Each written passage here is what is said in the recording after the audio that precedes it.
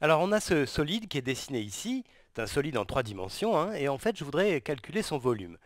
Alors pour ça, je vais choisir une unité, une unité, de volume, qui sera un petit cube. En fait, c'est ce petit cube que j'ai dessiné ici à côté, et c'est un cube dont les, hum, les côtés font tous 1 cm. Donc ici, la largeur, c'est 1 cm, la hauteur, c'est 1 cm, et la profondeur, c'est 1 cm aussi.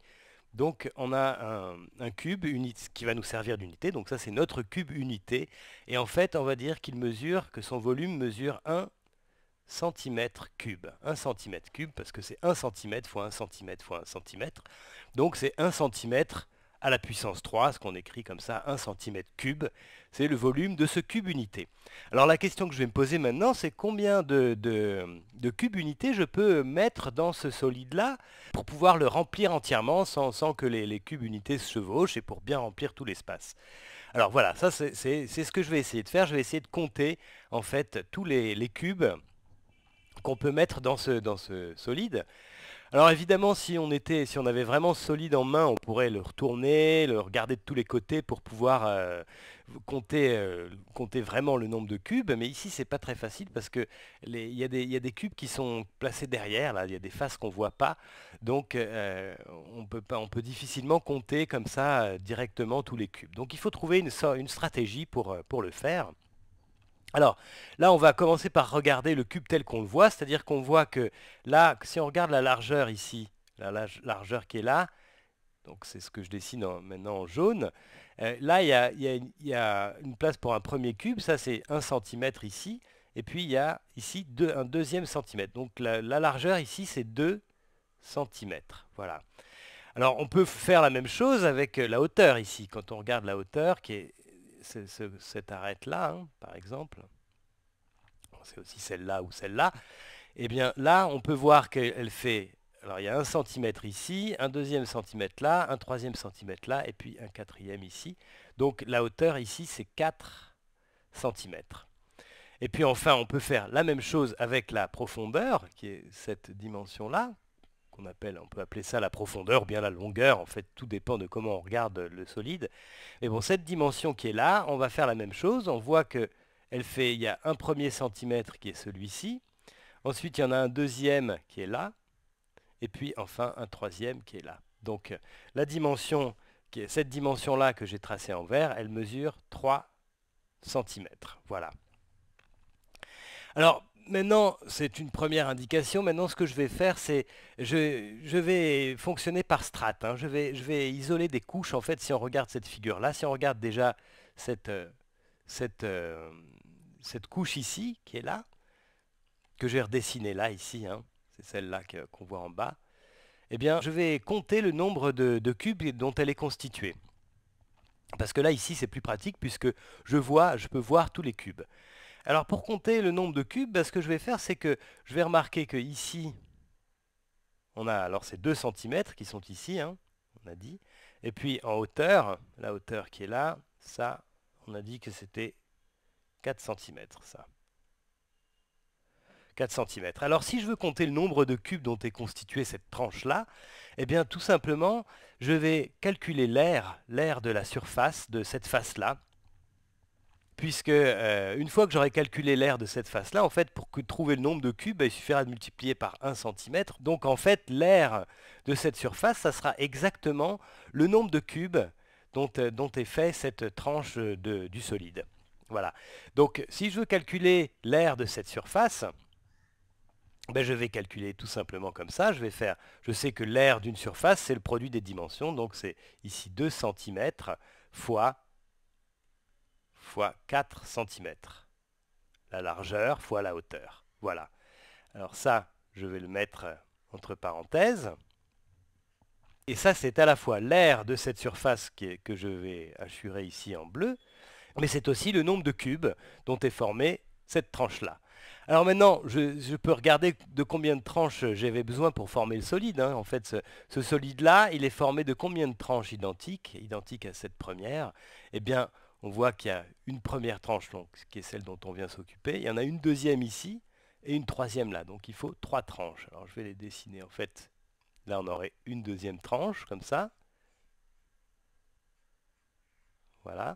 Et puis une troisième serait comme ça. Voilà. Donc là, bon, je le fais assez mal, hein, mais voilà. On aurait ici notre, notre, reconstitué notre solide à partir de cette tranche-là en la multipliant par 3. Donc là, on va faire, alors je vais déplacer ça, voilà, pour avoir la place d'écrire. Donc, en fait, si je veux, à partir de cette tranche-là, dont je connais le volume, hein, le volume c'est 2 fois 4, c'est le nombre de petits cubes dont j'ai besoin, donc c'est 2 fois 4, c'est 8 cm3. Si je veux calculer le volume complet du solide à partir du volume de cette tranche-là, eh il suffit que je multiplie par 3, c'est multiplié par 3 cm, puisque ici, cette dimension-là, c'est 3 cm. Voilà, donc là, j'ai euh, exprimé le volume de mon solide à partir du volume de cette tranche-là, et en fait à partir de l'air de cette face-là, hein, l'air de cette face qui est ici. Voilà. Alors là, du coup, je peux le calculer. 2 fois 4, ça fait 8. Et 8 euh, fois 3, ça fait 24. Donc finalement, je peux dire que le volume de mon solide, c'est 24 cm3. Alors 24 parce que c'est 2 fois 4 fois 3, et cm3 parce que c'est des centimètres fois des centimètres fois des centimètres. Donc je sais que ce solide là dont on est parti au départ, son volume c'est 24 cm3, ce qui veut dire que je peux mettre là-dedans 24 petits cubes de ce petit cube unité comme celui-ci. Voilà. Alors ça, c'est une façon tout à fait valable de calculer le volume, mais euh, on l'a fait en prenant cette tranche-là, en partant de cette tranche-là ici. Maintenant, on aurait pu très bien le faire en partant de, celle-ci, par exemple. Celle-ci que j'assure là en marron. Voilà. Si je prends cette tranche-là comme base, donc c'est ce dessin que j'ai fait ici, là, je peux faire exactement le même raisonnement que tout à l'heure pour calculer le volume. Alors là, j'ai la hauteur ici, cette hauteur-là, bah, c'est toujours, toujours 4 cm, 4 cm. Et puis ici, j'ai, au lieu d'avoir la, largeur, hein, j'ai pris, du coup, j'ai la, la longueur, ou la profondeur, hein, comme on veut l'appeler, ça, c'est du coup, c'est 3 cm. 3 cm. Et puis, et puis du coup, si je veux calculer le nombre de, cubes dont, j'ai besoin pour reconstituer cette surface-là, cette tranche-là, pardon, eh bien, je peux tout simplement calculer l'air de cette surface qui est ici, celle-là, qui en fait est celle-ci, hein, Donc je calcule l'air de cette surface-là et ça me donnera exactement le nombre de cubes dont j'ai besoin pour former cette tranche-là. Donc là, je vais faire comme tout à l'heure. Donc je vais, écrire que c'est 3 cm fois 4 cm fois 4 cm. Et ça, c'est entre parenthèses, c'est l'air de cette surface-là, mais c'est aussi le volume de cette tranche, c'est-à-dire le nombre de petits cubes unités qu'on peut mettre dans ce solide-là, dans cette tranche-là. Alors maintenant, ben, je vais euh, faire comme tout à l'heure, c'est-à-dire que je vais regarder de combien j'aurai besoin de tranches comme ça pour euh, reconstituer mon solide ici. Alors ici, j'ai un centimètre et un deuxième centimètre. Donc j'ai une première tranche qui est, celle dont j'ai parlé ici. Et puis en fait, j'en ai une deuxième. Hein. Alors je peux la, la dessiner ici. Là, j'ai un premier centimètre et puis j'en ai un deuxième qui est là. Voilà, donc j'ai une deuxième tranche qui sera comme ça. Voilà. Donc là, je vais avoir ici 2 cm. Donc il faut que. Donc si je veux compter le nombre de cubes, ben, finalement c'est deux fois celui-ci, deux fois le nombre de cubes que j'ai dans cette tranche-là, puisque c'est deux tranches identiques. Donc il suffit que je multiplie ça par 2 maintenant. Alors ça, qu'est-ce que ça nous donne? Ça nous donne 3 fois 4, 12 fois 2, 24 cm3. 24 cm3. Et ça, ben, c'est la même chose que ce qu'on a trouvé tout à l'heure, donc ça c'est une bonne chose, parce que heureusement qu'on trouve la même chose, puisqu'on est en train de calculer le volume du même solide. Voilà, donc ça c'était une deuxième façon de faire, il y en a une troisième. Par exemple, on aurait très bien pu se dire, bon ben moi je vais partir de, ce, de cette euh, tranche-là plutôt, cette tranche-là que maintenant je assure en rouge, c'est celle que j'ai dessinée ici. Voilà. Et puis là, comme dimension, je vais pouvoir euh, noter déjà celle-ci, là, qui est la profondeur. Donc ça, c'est 2 cm. Ça, c'est 2 cm. Et puis j'ai aussi cette dimension-là, qui est la, longueur. Alors ça, c'est 3 cm. 3 cm. Donc si je veux calculer le nombre de cubes dont j'ai besoin pour construire cette tranche-là, eh ben, c'est tout simplement l'air de cette face ici, que je vais assurer en rouge aussi. C'est l'air de cette face-là, qui est celle-ci, hein, la face du dessus de notre solide. Et ça, ça me donnera exactement le nombre de cubes. Alors, je vais écrire ici, hein, c'est 3 cm. 3 cm fois 2 cm. Voilà, ça c'est l'air de la surface que j'ai dessiné en rouge, l'air de la face du dessus de mon solide, de ma tranche. Et puis c'est aussi le volume de cette tranche-là, c'est-à-dire le nombre de cubes dont on a besoin pour former cette tranche-là. Alors maintenant, il suffit, il me reste plus qu'à compter le nombre de tranches dont j'ai besoin, de tranches identiques à celle-ci dont j'ai besoin pour reconstituer ce solide, mon solide de départ. Donc en fait là, je vais partir, je vais regarder de combien de tranches. Donc là, j'étais en haut, hein. je suis parti de la surface en haut, j'ai fait une première tranche, donc j'ai ça. Maintenant, il m'en faut une deuxième pour le deuxième centimètre, une troisième et une quatrième. Donc il faut que je rajoute trois tranches. D'accord, alors j'en rajoute une d'abord ici, voilà.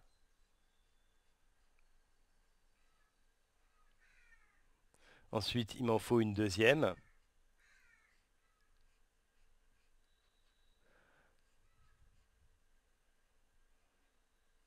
Voilà. Et puis une autre, une troisième, pour terminer. Voilà, bon, la dernière, je vais essayer de la faire un peu plus jolie quand même. Voilà. Voilà. Donc là, j'ai reconstitué mes, mes, mon solide puisque j'ai une, deux, trois, quatre tranches. Donc ça, c'est 4 cm en hauteur. 4 hein. cm en hauteur. Voilà.